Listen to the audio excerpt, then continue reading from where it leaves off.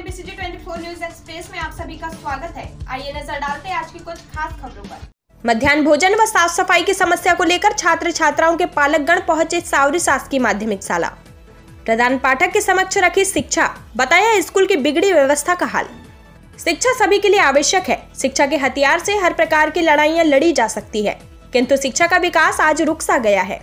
सरकार सभी क्षेत्रों के साथ ही साथ स्कूल शिक्षा पर भी ध्यान दे रही है। मगर कुछ ऐसे इलाकों में शिक्षा एवं बच्चों के आने वाले भविष्य के साथ खिलवाड़ भी किया जा रहा है।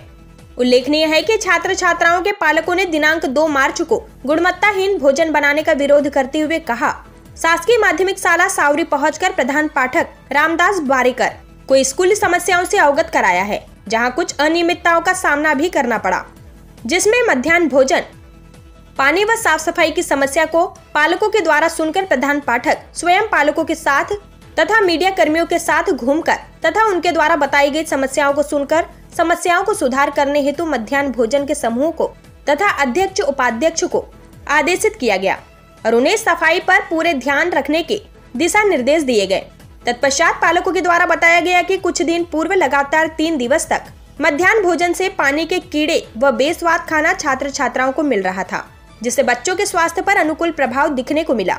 इस समस्या को सुनकर प्रधान पाठक रामदास बारेकर के, के द्वारा साला में लगी टंकी तथा साला में लगी पानी की टंकी को तत्काल जाकर देखा गया जिसमें पाया गया कि पानी सतही मिट्टी की वजह से लाल रंग का हो चला था जिसको देखते हुए प्रधान पाठक के द्वारा तत्काल टंकी की सफ़ाई करवाने का आदेश दिया गया।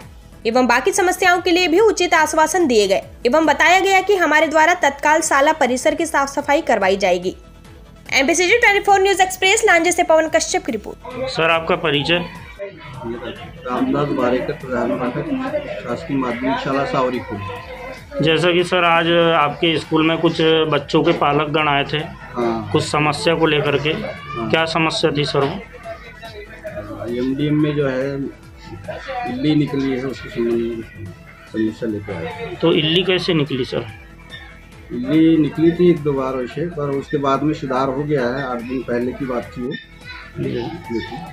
तो सर वही डर के मारे कुछ बच्चों को अभी भी खाना नहीं खा रहे हैं ढंग से कि बोले इल्ली निकली थी। हाँ हाँ वो जो उसके बाद कारण इल्ली निकली थी निकलने के कारण बच्चे कुछ खाना नहीं खा रहे हैं। अब तो खा रहे हैं फिर भी साठ प्रतिशत बच्चे भी खाना खा रहे हैं खा रहे हैं। और क्या समस्या बताएँ सर पालकों ने?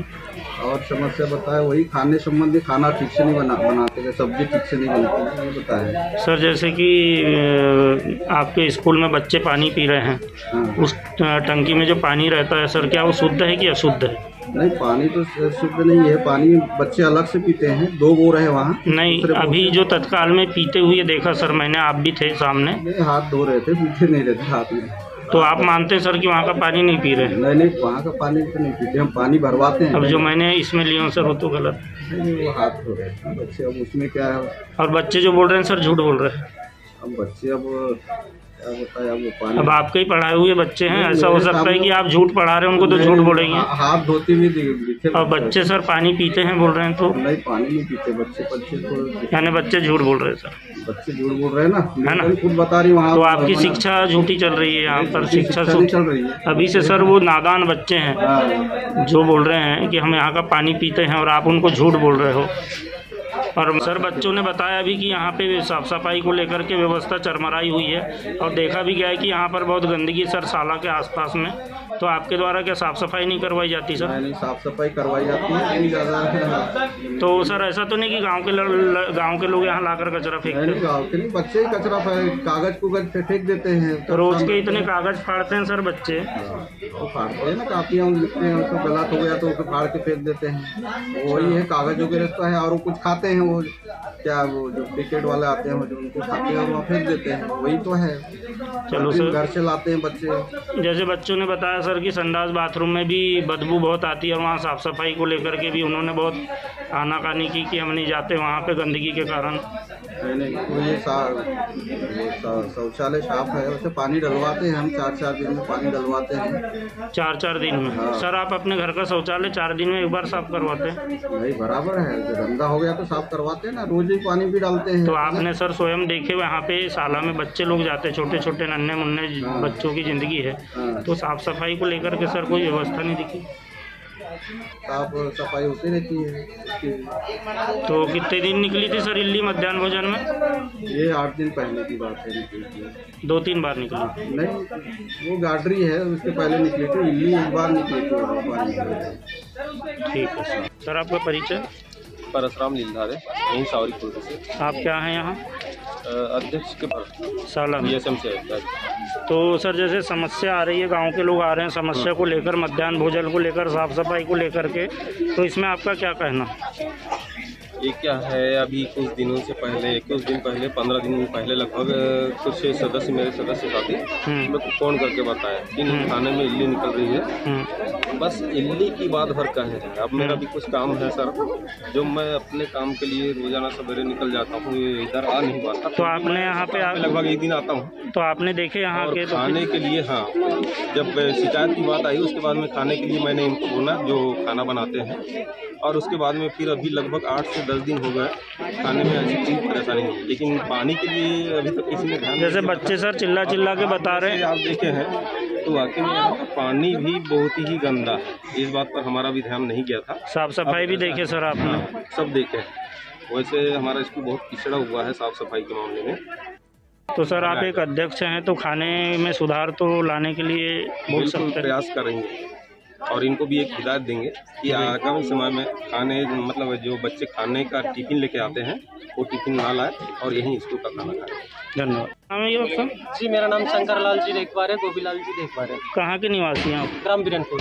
क्या समस्या को लेकर के आप यहाँ आए हैं? सर यहाँ पे बच्चे जो पढ़ रहे हैं ये बच्चे लोग तीन चार बार से हमारे पास में शिकायत लेके गए कि खाना में इल्लियाँ आती है खाना बराबर नहीं मिलता चावल जल जाती है ऊपर से सब्जियों में स्वाद नहीं रहती है और जो खाना पकाने वाले हैं वो अच्छे से हमको खाना नहीं खिलाते इसलिए घर से टिफ़िन लेके आ रहे हैं। तो फिर टिफ़िन लाने के समस्या में सर मैं दो तीन बार आया भी इधर में। सर से भी पूछा अपने जो पालक संघ के अध्यक्ष है उनसे भी एक बार शिकायत किया मैंने कि आप भी जा करके देखिए थोड़ा स्कूल में। मैंने उनको बताने के बाद दो दिन के बाद में फिर क्लास में आकर के देखा मैं थोड़ा ग्राउंड में घूम करके देखा इधर उधर लेकिन ये सब चीज़ें बदलाव नहीं आई। तो साफ़ सफ़ाई को लेकर के क्या कहना चाह रहे थे? कहाँ पर साफ़ सफ़ाई बाथरूम भी गंदा है ऊपर से दीवारों में जो चूना पुताई कर रहे हैं वो भी अच्छी नहीं है। और जो सर लोगों से चूना बोले तो- पोताई से क्या दिक्कत है? चूना पुताई में सर जो बच्चे लोग क्लास में बैठते हैं उनके कपड़े पूरे गंदा हो जाते हैं। तो क्या चाहते हैं आप? सर हम इस पे एक्शन लेंगे और सर लोगों को भी हिदायत मिलनी चाहिए और सर लोग साफ़ सफ़ाई अच्छे से रखें और बच्चों को भी अच्छे से रखें। ठीक। क्या पर, आपका परिचय से सर मेरा कृष्णदास लखपुरे सर। जैसे कि- जैसे कि आप यहाँ पे सावरी खुर्द के शासकीय माध्यमिक शाला में आए हैं तो किस संबंध में आए हैं? सर ये मध्याह्न भोजन के संबंध में हम लोग यूनियन बनाकर आए हैं। अच्छा। सब मिलकर। क्या समस्या है? सर ये हमारे जो बच्चे जो सर देखो सर ये एक बार की समस्या नहीं सर ये कम से कम चार पाँच साल हो सर। ये शिकायत बता रहे कि हमारे इस जैसे खाना मध्यान्ह भोजन है सर उसमें खाने में इडली निकलेंगे कभी सब्ज़ी सब्ज़ी में कोई मतलब कहना चाहिए स्वाद नहीं है चावल ढंग से नहीं पकता सर। तो सर इससे क्या है सर इनके परेशानी जैसे कहना चाहिए तबीयत पानी जो है सर स्वास्थ्य स्वास्थ्य है बिगड़ते ही जाता है हमेशा सर। अब हम लोग बोलते हैं कि ये कैसे हो रहा है? तो सर पानी है सर पानी भी है तो बहुत गंदा पानी है सर। तो आप लोगों के बच्चे आपको यहाँ की समस्या बताते हैं घर जाकर? सर डेली बताते हैं। तो आज आप लोग यहाँ पे उनसे शिकायत करने आए हैं कि व्यवस्था सुधार। ठीक। और आपका? महिमा पंद्रह क्या समस्या है आपको? हमारे स्कूल में कपड़े भी नहीं मिलते कुछ भी नहीं मिलते और अच्छे से खाना भी नहीं देते और साइकिल भी नहीं देते हमको। क्या बोलते हैं? की करते खेलने के लिए कुछ मांगते हैं तो हमको खेलने के लिए भी नहीं देते हैं। अभी बहुत दिन हो गए खेलने के लिए भी बोलते हैं। और साइकिल के लिए बोलते हैं तो साइकिल भी नहीं देते हैं और करते पैसे देंगे बोलते हैं पर खाते में पैसे भी नहीं आते हैं। मध्यान्ह भोजन का खाना कैसे मिलता है आपको? अभी अभी बहुत दिन हो गए रोज करते कीड़े निकलते हैं। अभी दो दिन हो गए अच्छे से मिला है नहीं तो फिर हर रोज कीड़े निकलते हैं। और ये जो पानी पानी है कैसा है? पानी भी बहुत गंदा वहीं का पीते हो क्या आप पानी? घर से लाते हैं। और ख़त्म होता है तुम तो यही क्या पीते हैं थोड़ा। इंद्र कुमार फुल्ला रहे। कौन से क्लास में पढ़ते हैं? सातवीं। क्या समस्या है आपकी? हमारी समस्या है पहले खेलने का चीज़ दे रहे सामग्री। हाँ सर लोग हम्म। फुटबॉल हम्म, अभी तो कुछ देते ही दे नहीं रहे अभी अच्छा। तो खेलने नहीं दे रहे? खेलने नहीं दे रहे? ठीक। है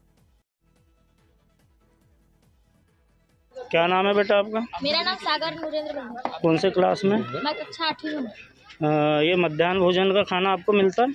मिलता है लेकिन मैं खाता नहीं हूँ। क्यों? ओ उस दिन तीन दिन से लगातार इडली निकला है पानी का। तो आपने सर से बताया थे बात? हाँ बताए। क्या बोले?